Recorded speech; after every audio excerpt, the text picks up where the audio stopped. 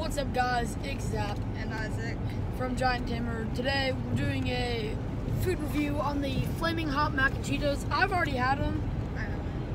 Uh, he hasn't, but they need buffalo sauce. I would try them without it first. though.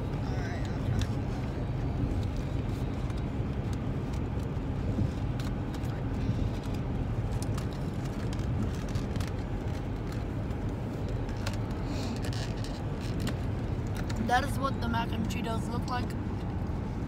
Um, alright.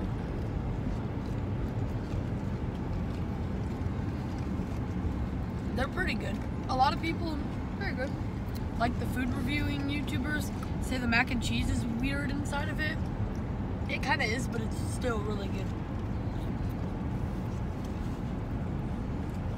Yeah, it's good. No Yeah. with buffalo. Yeah, now I was gonna try it with buffalo. They come with a good amount too, cause they're they're like a dollar, I think, for a dinner. Three dollars. Three, four, five, six. There's six in there. Wait, did you count the one you already ate? Yeah. Um, we just got back from a Harlem Globetrotters game. We got our basketball signed. We'll show you guys that at our house. Alright, I'm trying. That's better. We done? With buffalo. Nationwide is on my side. Got signed. Yeah. It has every Harlem Globetrotter that was at that game sign it.